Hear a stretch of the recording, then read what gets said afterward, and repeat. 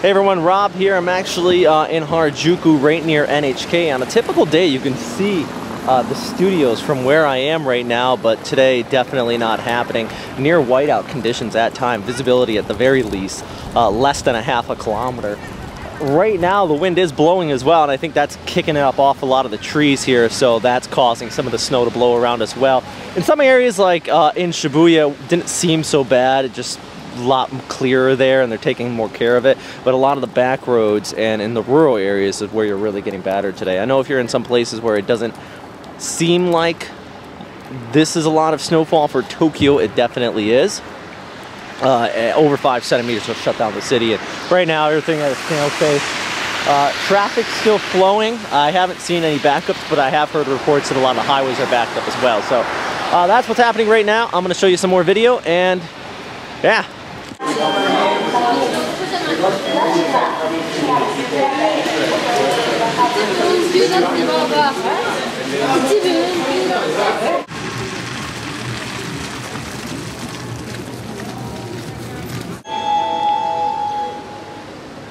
まもなく2番線に新宿池袋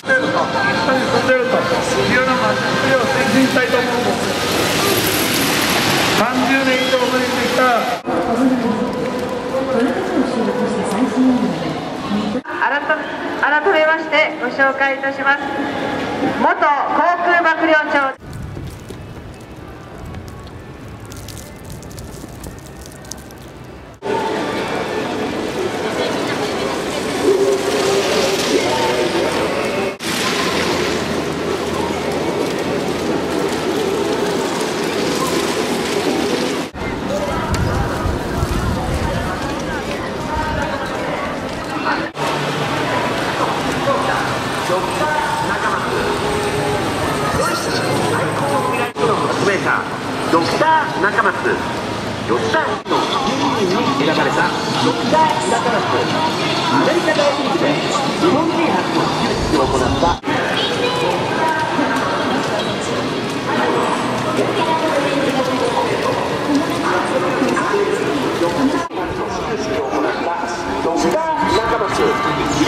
プター日本一周記録を持つヘリター中松シを明るくする明るい